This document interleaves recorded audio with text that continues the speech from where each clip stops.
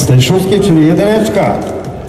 A Marcin Przyszlak, 33 lata, 79,9 wagi, 178 cm wzrostu. Tak. Mistrz Polski NSI z 2012 roku. Marcin Przyszlak.